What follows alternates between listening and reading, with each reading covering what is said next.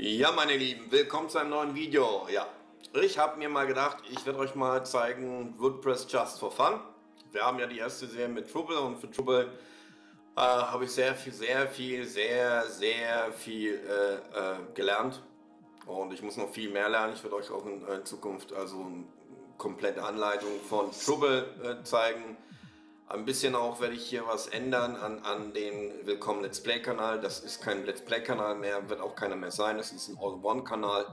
Äh, für jeden Scheiß wird er auch vorhanden sein, weil es gibt halt Leute, die dann ähm, sagen, hey, ähm, du machst mal solche Videos, nur solche, entscheide dich oder was, was ist das jetzt für ein Kanal und das wird einfach äh, All-in-One Kanal sein.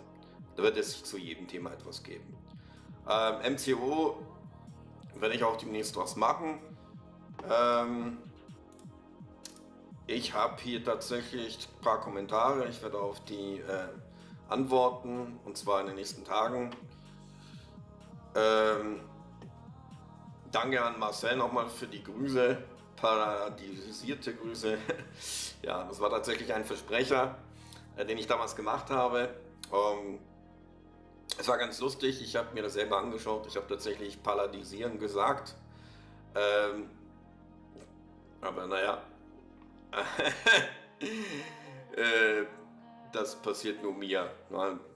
Und äh, ist ja nicht so schlimm, kann jedem äh, passieren, denke ich mal auch, dachte ich. Also, passiert nur mir, dachte ich, aber es äh, passiert jedem, jedem Menschen irgendwo, was man sich verspricht. Wenn man kein Deutscher ist, so wie ich, einen deutschen Pass hat, ne? Mischling, dann ist es natürlich wiederum ein bisschen anders. Da passiert das sowieso öfters. Ähm, genau. Da Grüße zurück an Box 2 noch und äh, auch da die, die Erleuchtung auf jeden Fall hat es gebracht. Es heißt natürlich äh, nicht paradisieren, sondern äh, äh pa, äh, äh, es heißt lähmen eigentlich und Kabam schreibt auch ab und zu mal in der deutschen Beschreibung äh, parieren. Und äh, parieren äh, ähm, ist es dann korrekt. Ähm, aber ich werde, glaube ich, öfters mich versprechen, von daher äh, I give a fuck drauf. okay, so, let's go. Ähm, gehen wir zurück wieder zu unserem Trouble-Ding. Wir haben ja ähm, mal was über Trouble gemacht. Da kommt auch demnächst etwas mehr.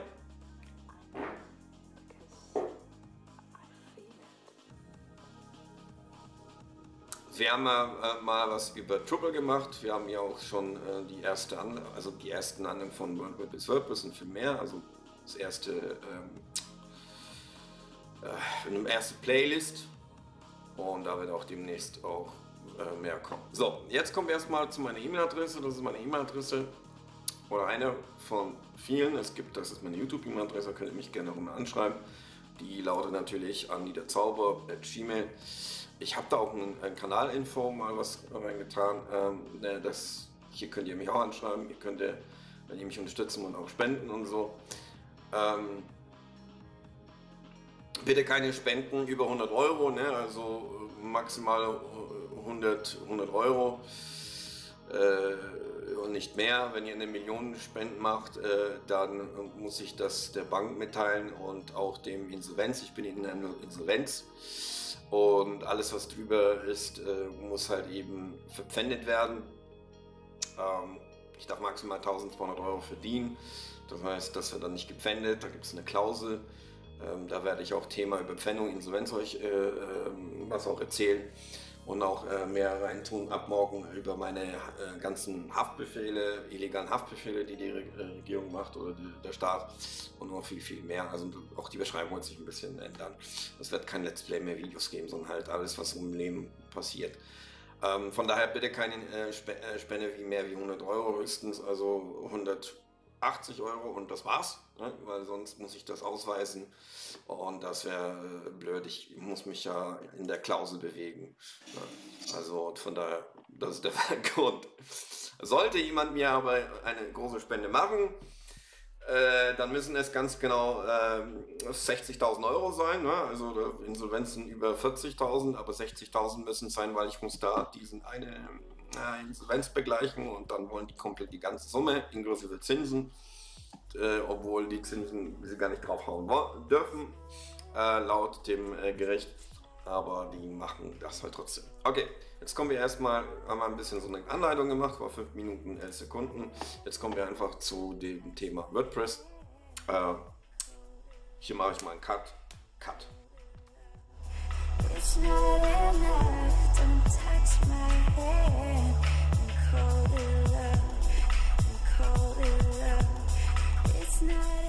Ich habe eins, äh, ein Plugin gehabt, das hat einen Fehler aufgewiesen. Und ähm, auf meiner Projektseite Gemophones, ähm, die demnächst auch online äh, kommen wird, werden wir auch Just So Fun, äh, werde ich euch zeigen, wie man Inhalte macht und so bei einer Webseite in WordPress und wenn ihr ein WordPress CMS-System verwendet. Und das werde ich euch alles zeigen und auch beibringen, wie das Ganze funktioniert, Best of Plugins und so weiter und so fort. Äh, lange Rede, kurzer Sinn. Wir haben hier ähm, einen ein Fehler, der wird gemeldet und ähm, der Unterschied zwischen WordPress und Joomla und Typo 3 oder auch ähm, ähm, Trouble ist, dass WordPress da sehr genau ist. WordPress macht nicht nur die Fehlermeldung, welches Plugin einen Fehler verursacht, dass, es eine, dass die Seite offline gegangen ist oder dass der Login nicht funktioniert, sondern WordPress äh, tut automatisch auch hier klipp und klar sagen, ähm, das und das ist ein Wiederherstellungslink. Der ist mittlerweile natürlich nicht gültig, aber äh, für, das, für, die, für das Video, für das äh, Video, um das darzustellen, kann man das mal alles mal hier zeigen. So, und drunter sind natürlich die Fehlerdetails aufgelistet und so, wo, wo ist was, welche Austung ist das und so. Ähm, für die Hacker natürlich äh, aktuell ohne Bedeutung, weil es gibt ja auch Script, Script äh, äh, ähm, ich habe ja damals äh, mit Hackern gearbeitet, sehr interessant, da würde ich auch Geschichten darüber erzählen. Black, äh, Black äh, Rabbits und White Rabbits. Und Green Rabbits gibt es auch. Und, ähm, aber für einen Hacker oder Kitty-Hacker wäre das dann interessant, wenn es aktuell wäre hier dann würde er dementsprechend da auf diesen Fehler äh, gehen und würde versuchen halt ähm, die Class wie Hawk PHP aufzurufen und die zu manipulieren und dann ähm, das Ganze äh, zurückzuschicken ne? oder eine E-Mail machen oder den, den, den, virtuellen Muster anzugreifen. Blinkt aber nichts mehr, das ist ein ähm, Webspace, äh, Managed Webspace, äh, der also da müsste der, der Hacker schon Atombomben und Trillionen äh, Infinity da, da, da, ne, Blitze feuern und super Lucifer Hass, um da reinzukommen und das ist nicht möglich. Äh, und das, ich bin ein armer Schlucker, uninteressant. Ne? Ähm, der sollte mir dann eine Trillion Euro spenden und gut ist. Also lange kurz Sinn, das ist das Schöne bei WordPress, ihr bekommt einen Link und ihr müsst euch keine Sorgen machen, wenn mal sowas passiert und ihr bekommt Hinweis an, ähm, an, an, was das liegt. So, jetzt gehen wir mal zum WordPress, zum Skript und da gehen wir mal auf Plugins. Und da seht ihr schon, auch da hat sich ein bisschen was verändert. Da oben seht ihr schon wieder Herstellungsmodus verlassen. Wollen wir natürlich nicht, weil wir wollen erstmal zeigen, wie wir den Fehler beheben. Aber wir sehen hier diesen, diesen Link, Wiederherstellungsmodus. Und ähm, das sind wir jetzt. Das ist eine einzigartige Fähigkeit, die WordPress hat. Ähm, es ähm, wird oft nicht erwähnt, ähm, weil es sehr selten passiert. Wenn sowas passiert ist, wissen viele nicht, was sie machen sollen, ob sie sterben sollen. Ungefähr so reagieren die Leute, wir werden alle sterben, Putin kommt, nimmt mir meine Wurst weg, Putin nimmt mir meinen Hund weg und meine Mama auch noch und so. Und die Leute sind mittlerweile äh, bei Corona so verrückt geworden, dass die Leute wirklich bei jedem Scheiß ausflippen. Und deswegen nein, ruhig als angehender Webdesigner und als äh, selber, der sowas macht. Äh, und euch das auch zeigen wird, damit ihr es einfach habt. Werde ein bisschen so jetzt die äh, Web-Sachen aufmischen und die Sachen Programmiererwelt nicht, aber so Web und die ganzen äh, Michael da, das Polackenschweinchen, Judenschweinchen, da, wird sich rächen an, die, an diese Gesellschaft, ne? Ist auch Spaß. So, Spaß beiseite, ne? Äh, nicht Spaß, mal ins Ernst, aber lange Rede, kurzer Sinn. Wir haben hier äh, dieses äh, Plugin, ein Film-Info-Box und wir schauen uns das Ganze mal an. Ähm, wir können da einfach mal sagen, wozu braucht man das oder haben wir das damals gebraucht und ähm, da musst ihr tatsächlich ähm, Plugin sogar eingeben, weil sonst findet er es nicht. Ähm, ja, und hat man halt das. Ne? Sowas ist es halt. Da könnt ihr ähm, den Look verändern, ein bisschen so an den Look bauen. Das braucht man eigentlich gar nicht, weil da gibt es viele bessere Lösungen. So, also wie gesagt, äh, das ist der Fehler. Und der ist in dieser Zeile und den könnte man theoretisch beheben. Theoretisch könnte man da jetzt in den Code reingehen, könnte man sagen, wo befindet sich dieser Fehler, also was ist dieses Infobox, okay, da sagt aus, das ist eine äh, ähm, Package und VCM mit PHP und for the viele und, und, und Error. Ähm, wir können das mal hier äh, auf Englisch mal übersetzen lassen, also kopieren Steuerung C und dann gehen wir mal auf Diebel und übersetzen es auf Deutsch. Ja, äh, unerwartete Fehler auf äh, Aufruf einer undefinierten Funktion. Okay, das ist schon mal gut, undefinierte Funktion. Und welche Funktion ist, zeigt er uns dann hier an. Das ist in WP Content, Plugins äh, und dann ist es dies ein Tenant Infobox for Power Package Infobox VCMap PHP 2.4 und dann zeigt er auch äh, Stack Trace, also wenn wir Stack Trace übersetzen, würde das bedeuten Stapelverfolgung und äh, versucht er hier ähm, anzugeben, wo er was aufrufen will. Classes, WB, bla bla bla und so weiter. Das könnte man theoretisch also dann hier äh, nachvollziehen. Man könnte erstmal sich anschauen, ähm, was ist das eigentlich, was versucht er da abzufragen, ähm, was will er bezwecken mit der Abfrage, was benötigt er, Recruit Wrongs, ich benötige was, sagte ich benötige Recruit, also wenn wir das übersetzen auf, auf, auf Deutsch wieder, na, dann haben wir dann erfordern einmal erforderlich einmalig, na, also erfordert was, erfordert was ein, ich will was, dass das äh, funktioniert, Load und äh, Recruitings und das fordert er auch noch ein und Hosting, Gopma, bla bla, äh, Login, bla bla bla bla. So, das ist alles nur eine Bedeutung, wenn man sagt, hey, ich weiß, dass ich das Skript nicht mehr brauche, ne? ich habe mich da informiert, ich hatte das einfach äh, doppelt gemoppelt sagen, hey, ähm, wenn so ein Fehler ist, dann müssen wir erstmal schauen, welche Version gibt es und könnte man eine neue Version machen, die diesen Fehler behebt. Also machen wir lange Rede kurz auf Deaktivieren. Und wenn wir das deaktivieren, dann ist alles im grünen Bereich. Okay? So, wir könnten jetzt sagen, hey, pass auf, gibt es eine Aktualisierung? Wenn ja, gut, wenn nein, dann eben nicht. Okay? Das heißt, hier im Klartext sehen wir jetzt nichts.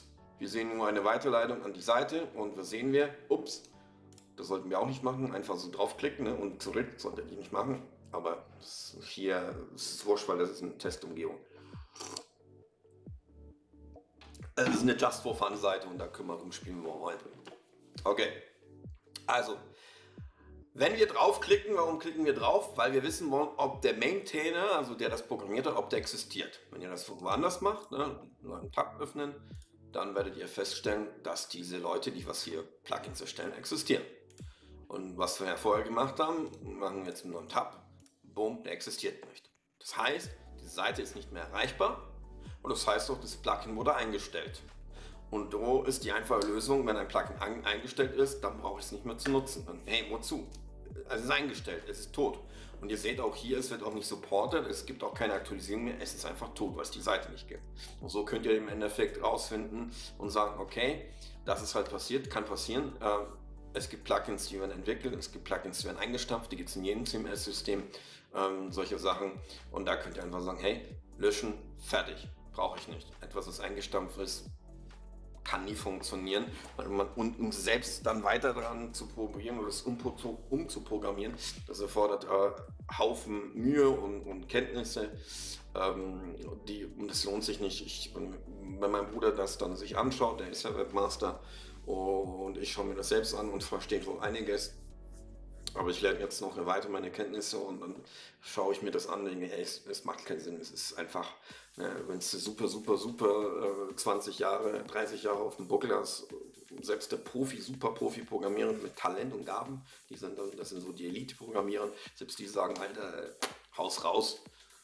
Ne, also ein kaputter Apfel, ne, wenn der kaputte Apfel links und rechts ist und, und unten verfault, oben ist ein bisschen noch gut. Ne? Es ist die Wahrscheinlichkeit, dass man den dann nicht äh, sich daran vergiftet, äh, ist Bullshit, einfach raus damit und nimmst einen äh, sauberen Apfel, wo alles äh, normal ist und nicht verfault ist. Ne? Einfach kurzen Schmerzlos, darum geht es, in der Welt weiterzukommen. So. Ähm, was haben wir hier jetzt noch? Wir haben hier ähm, ein Vicaberry Page Builder und den haben wir ja deaktiviert. Warum haben wir das gemacht? Weil er hat ein Problem. Vicaberry äh, Page Builder scheiße, weil er sich äh, nicht an die Themes anpasst. Und da werde ich euch eine Tiefe zeigen. Ähm, das war mal ein geiler Editor vor Millionen von Jahren. Mittlerweile sind es nur auf Pay to Win. Das heißt, wenn ihr hier was macht und ihr äh, wollt, dass das auch ein Theme äh, sich anpasst, dann wird, wird das das nicht tun, ihr müsst nochmal Kohle zahlen und nochmal Kohle zahlen. Deswegen WKP Bray würde ich nicht empfehlen. Ich habe aber noch zwei Lizenzen, ich werde die verlosen, wenn wir hier genug äh, Leute zusammenkriegen. Äh, wenn wir 1000 Leute zusammenkriegen und ich 1000 Abonnenten habe und ihr dafür sorgt, irgendjemand dafür sorgt, dass ich mal 1000 Leute habe, ihr könnt mich weiterempfehlen und so sagen, ey, cooler Typ, macht endlich mal äh, gescheite Videos und politisch unkorrekt, whatever trinkt seinen Zitronentee, während er äh, schlürft den Zitronentee, während er äh, ein bisschen Pause macht. Ja, dann könnt ihr, dann könnt ihr die Lizenz bekommen. Ihr seht, das ist eigentlich äh, sehr teuer, ist also nicht gerade billig, aber ich habe zwei Lizenzen und ähm, ja, die würde ich gerne verschenken für diejenigen, die sagen sich, okay, ey, puh, cool, da kann ich ja was nutzen. Äh, und für den einen oder anderen wird es vielleicht, äh, es geht mit einigen Templates, aber nicht mit allen. Ne? Und ich verwende ein spezielles Template und ich kann es halt nicht gebrauchen. So, ähm, jetzt werdet ihr sagen, ich habe vorher doch erwähnt gehabt, was mit dem, äh, mit dem nicht aktiv, also keine automatischen Aktualisierungen oder keine Aktualisierungen. Äh, wieso ist das jetzt hier? Sind, die sind doch nicht tot und diese Website existiert und wieso ist da was jetzt nicht drin steht? Also, also generell vollkommen richtig. Gut, dass ihr mitgedacht habt. Und zwar, jetzt kommt die Klausel, die Ausnahmeklausel, deswegen habe ich das vorher nicht gesagt weil ich möchte ein bisschen auch äh, Leute mitnehmen. Es gibt eine Klausel, die sagt, wenn jemand hier keine Updates macht oder es keine solche sowas automatische Dinge gibt, dann liegt es einfach daran, dass der Typ eine App gekauft hat oder ein Plugin gekauft hat, was er nicht verlängert hat, der Vertrag. Also Pay to, äh, pay to Win, ne? also Verlängerung, also der, der Vertrag refresh, refreshed hat, nicht Pay to Win, refreshed. Und das habe ich nicht gemacht. Und das sehen die und die haben diesen Code, die sehen das und sagen sich, ey, ey, äh, wir brauchen hier nicht zu aktualisieren. Er kriegt nur die 6.9er Version und alles andere kriegt er nicht, weil er hat eben nicht äh, seinen Vertrag verlängert. Ne? Und so funktionieren halt äh, manche äh, Plugins. Das äh, Ganze äh, ist auch dann hier, ne? also hier denkt man, okay, what the fuck, ähm, wieso geht das nicht, obwohl die eigentlich existieren. Ah, also die existieren, also die haben zwar blöde Werbung, das hauen wir jetzt mal raus.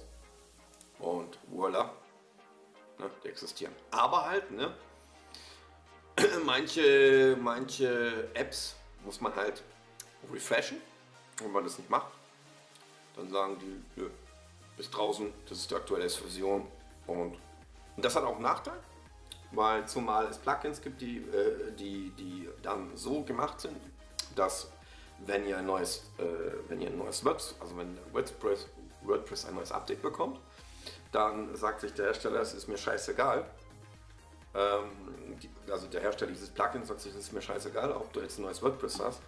Äh, fick dich ins Knie, Motherfucker. Entweder du zahlst mir die 70 Euro, die 7 Millionen 1000 Euro, oder äh, du fickst dich ins Knie und gibst einen Kopfschuss, du Arschloch, weil ich werde dir nicht helfen, dass, das, äh, ähm, dass du das Update bekommst, damit du mit äh, dem neuen WordPress arbeiten kannst. Ne? Und die sind da auch knallhart.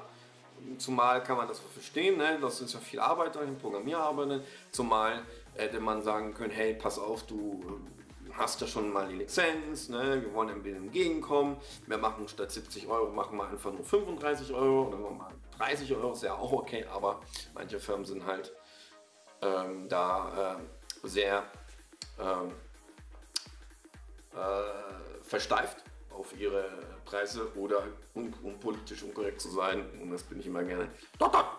Lucifer! ja, und deswegen machen die das so. Ah, okay, lange Rede, kurze. Wir haben WKB, WKB deaktiviert, weil wir wollen eine geile Seite machen. Das können wir aber nicht machen. Aber zuerst gehen wir auf Aktualisierungen. So, dann passiert so.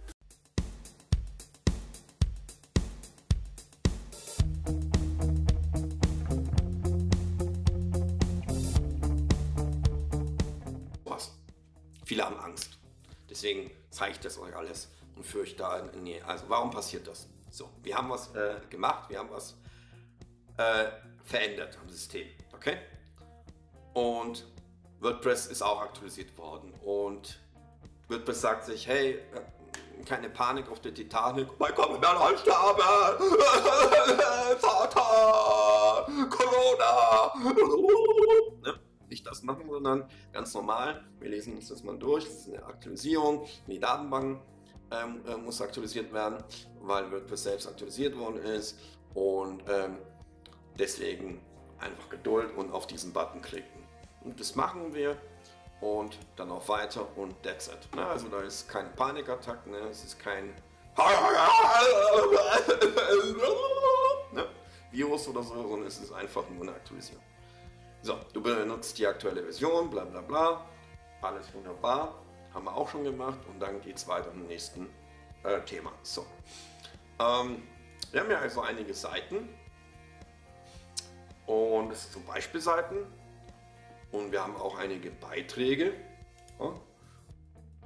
Und da haben wir schon eine ganze Menge schon gemacht. Die werden wir natürlich auch so verändern auch müssen. Und wenn wir jetzt da auf unsere äh, Game of Thrones Seite gehen, ne, da kommen wir hier an und ähm, ja, etwas Blödes äh, ist passiert. Was viele sich fragen werden, what the fuck, was ist das?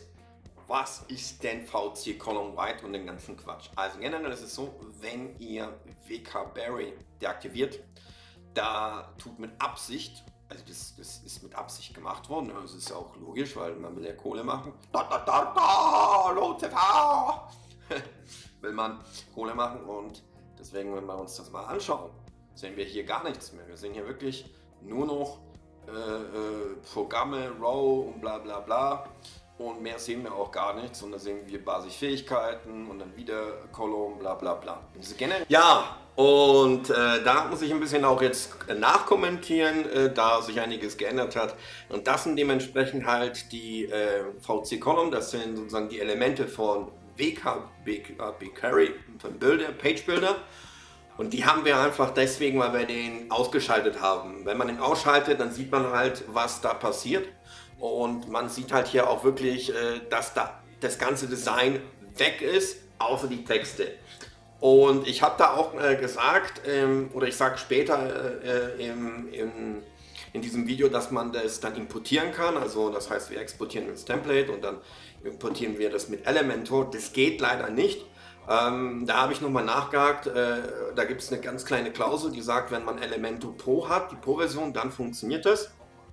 Da gibt es also eine Möglichkeit, äh, laut Elementor äh, äh, von diesen Infos, was ich gelesen habe vom Forum. Ähm, ansonsten geht das nicht. Ich habe es versucht auch auszuprobieren, ich habe jetzt da keinen Weg gefunden, ist aber auch nicht so schlimm. Ich zeige euch trotzdem oh, im Nachhinein, wie ihr trotzdem das alles machen könnt, ohne dass ihr jetzt unbedingt ähm, äh, WK Berry also enablen müsst. Hier sehen wir das nochmal auch, dass hier habe ich das enabled gemacht, also aktiviert. Und man sieht auch hier, äh, wie das Design wirklich ist, wenn man den WK-Berry aktiviert und wo dann seine Elemente erhalten sind. Und ihr merkt halt wirklich die Elemente, ähm, die da verschwunden sind, äh, das ist ein Riesending. Die machen das aber so und das werden die immer so machen und ist auch irgendwo verständlich, aber halt für den einen oder anderen Line ist natürlich so, hey, what the fuck, was geht denn da ab?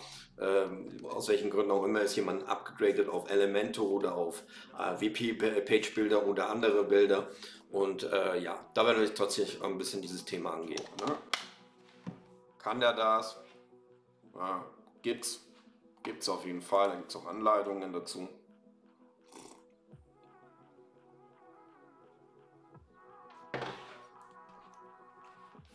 Und äh, Elementor kann das. Dann ist es auch wichtig äh, äh, zu testen, wenn ihr den Modus verlassen tut, ob ihr euch auch so einloggen könnt. Soweit haben wir dieses äh, fehlerhafte deinstalliert. Das heißt, wir können auch hier diesen Modus verlassen und wenn das ihr, wenn ihr darauf geklickt habt, verlassen und eure Seite funktioniert immer noch, dann bedeutet das, dass das wirklich dieser eine Plugin-Fehler war und alles läuft wunderbar. Okay? Das ist immer ganz wichtig, dass man da auch in diesem Modus weggeht damit auch wieder ihr im alten Admin seid und nicht irgendwelche Missbrauch äh, stattfindet von den ähm, Kiddie-Hackern oder Bacon Cracker Macon Shaker, ne? wobei die auch nichts dafür können, dass sie das machen. Ne? Ich habe vielen Kiddies gesprochen, die holen sich halt dabei einen runter und sind glücklich und spritzen ab äh, äh mit 13, 14 Jahren.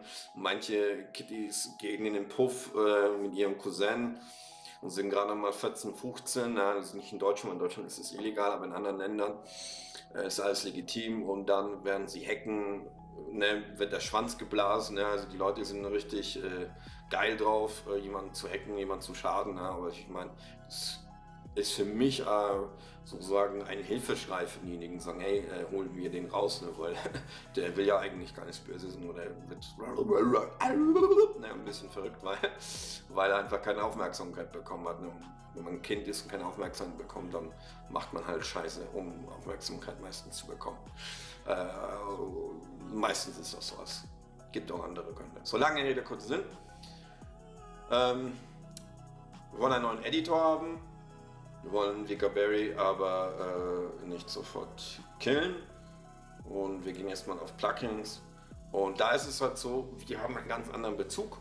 Wir müssen uns nicht hier einloggen, sondern wir machen das über Netcup normalerweise. Das heißt, ich bin hier, ich hau mich jetzt raus, ne, selber raus. Das ist mein Username. Und äh, gehe dann direkt über Netcup. Und Netcup den Control Panel. Und habe dann automatische Login. Ich weiß nicht die Zugangsdaten. Ich habe die mal eingerichtet bekommen. Ich habe keine Ahnung, ja, ob äh, also man sich da hacken kann, wenn man keine Zugangsdaten hat. Laut Netcup ist super safe. Wer weiß aber, wie safe alles ist. Ne? So, dann haben wir hier unser WordPress Toolkit. Und da haben wir unser Gopma. Und da haben wir schon gleich unsere Plugins. Und wir haben hier auch schon Wiederherstellungspunkt, ne? also 10. November war der letzte. Wir können zum Beispiel auch Punkte halt äh, äh sichern und so. Wir können dann ganz schön viel machen bei dem ganzen Quatsch. Wir können Sicherung machen. Ne, ja, habe ich vorher gesagt, dass wir eine Sicherung machen dass das sehr wichtig ist. Ihr seht halt hier die Sicherung. Und ähm, damit wir nicht so viel Papierkram haben, schauen wir uns, okay, das war die letzte Sicherung. Und ähm, ich lösche das Ganze mal hier. Bumm, brauche ich nicht. Weil wir haben ja getestet, das andere funktioniert. Und mache einfach ein Backup. Uff. Und warten ein bisschen, bis das ein Backup gemacht ist.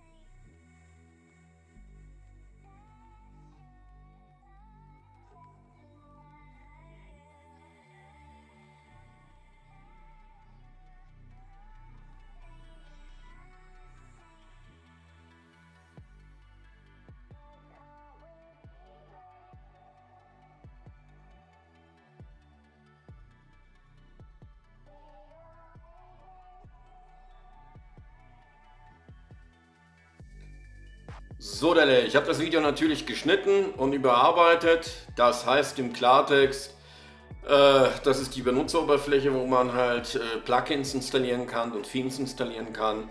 Ähm, mehr gibt es eigentlich da nicht zu sehen. Das hat man bei Netcup. Das äh, macht jeder äh, Webhoster anders.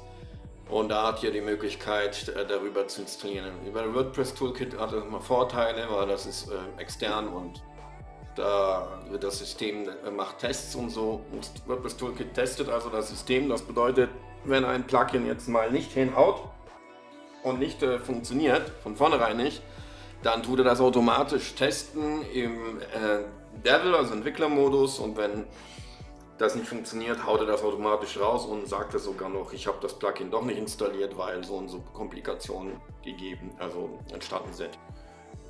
Ja, in diesem Video ähm, habe ich äh, Elementor installiert und einige Tests auch gemacht, aber wie ich ja vorher erwähnt habe, äh, muss man die Pro-Version haben, um gewisse Funktionen zu machen. Ich wollte auch ein Upgrade machen, aber es war natürlich, äh, ich bin dann auf up, auf Upgrade gegangen und habe mir dann die Preise angeschaut, habe es mal ein bisschen durchgelesen, das lohnt sich nicht. Das lohnt sich nicht, ähm, weil, also ein bisschen schon, schon, schon teuer, also wenn man 49 äh, Euro im Jahr zahlen muss, US-Dollar oder sagen wir mal 45 Euro, wenn es im Euro wäre, ungefähr äh, circa im Jahr, das läppert sich in 10 Jahren. Und das muss, muss man auch nicht machen. Es gibt da auch andere Lösungen, All-in-One-Lösungen, aber das werde ich euch nachher zeigen. Ähm, ich bin dann fertig in diesem, mit diesem Tutorial. Ich habe ein bisschen das gekürzt im Nachhinein im Schnitt. Das heißt, ich kommentiere das hier im Endeffekt. Ähm, das, was ich dann hier tue, ich habe ein bisschen so gezeigt, was man noch einstellen muss an Elementor. Das äh, dachte ich mir, lasse ich entweder drin oder hau es raus. Ähm, ich habe mich entschieden, es rauszuhauen. Ich werde die Einstellungen äh, separat durchgehen mit separaten Videos, ähm, wo es an Elementor gehen wird. Wir arbeiten hier mit Elementor, Page Builder und Buildy Builder und alle, wie sie alle heißen, Divi und so weiter. Es gibt ja viele. Ich werde euch alle äh, zeigen bei unserem Just for Fun Projekt. Äh, mit WordPress werde euch die Vor- und Nachteile zeigen. Es gibt immer Vor- und Nachteile. Es gibt aber auch sehr viele Vorteile eines Widget, äh, Widget äh, so spricht, Editors oder Drag-and-Drop-Editors. Und Elementor gehört einer zu den besseren. Das heißt, Elementor ist wirklich sehr, sehr gut. Viel besser als VP per Query Builder. Aber äh, bevor wir das alles machen, machen wir erstmal eine Sicherung. Und zwar, es gibt eine andere Sicherung, die wir noch dann angehen werden. Das ist die äh, Side-by-Side-Sicherung. Äh, so, nennen, ähm, so nenne ich das zum, äh, zumindest. Oder Special Edition Quaddy Money Sicherung. Wie man, ne, ich habe meine eigene Sprache wie, wie Snoopy, Dubi, Dubi, Duck, ne, Snoop, Snoop Dogg. Und ähm, man sichert einfach vor die Inhalte äh, nicht ab, sondern die Layouts, genau Layouts. Und äh, dann kann man das auch äh, das Layout dann nachmachen. Es geht ja auch ganz, ganz einfach, man muss ja nicht so komplex machen. Wichtig ist, dass der Elementor gewisse Sachen nicht anbietet, das heißt, gewisse Sachen bietet er an, gewisse nicht. Und wir werden uns dann damit befassen und welche Editor bietet, aber das ist auch wichtig, äh, Template-Sicherung, schon im Standard, also nicht in Pro-Version, weil es ist ganz wichtig, die Templates zu speichern, dann könnt ihr viel schneller ähm, viel schneller agieren und bearbeiten eure Templates. Also eine Template ist nichts anderes wie eine Vorlage, wie eine Seite Blatt Papier, äh, wo ihr gewisse Felder einbaut, die dann immer für alle anderen äh, Themen oder Beiträge gelten. Und da werde ich auch noch ein bisschen was dazu sagen, aber das machen wir in einem separaten Video. Ich hoffe, das hat dir gefallen.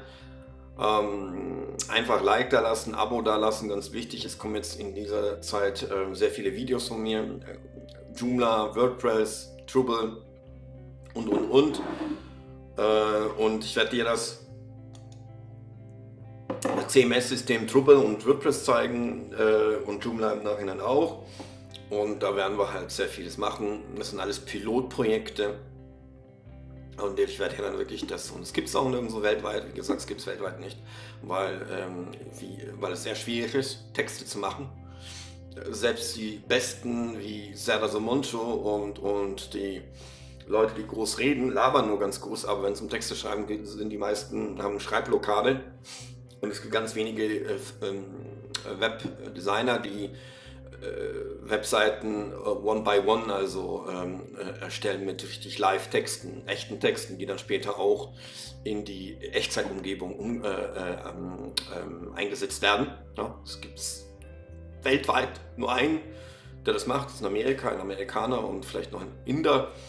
Ähm, aber einen Deutschen habe ich noch nicht gesehen. Ja. Also, das ist ja, das ist ja das ist ja echtes Projekt, was wir angehen gemeinsam. Ne? Das ist ja echt, das ist dann echt. Ne? Und das ist noch ein bisschen anders. Ne? Und da sollst du einfach ähm, ein bisschen was mitbekommen, was Neues, was modernes Webdesign ist und nicht Landingpages. Landingpages sind meiner Meinung nach veraltet und Quatsch. Aber gut, das war's auch schon und jo, that's it. Bis zum nächsten Mal.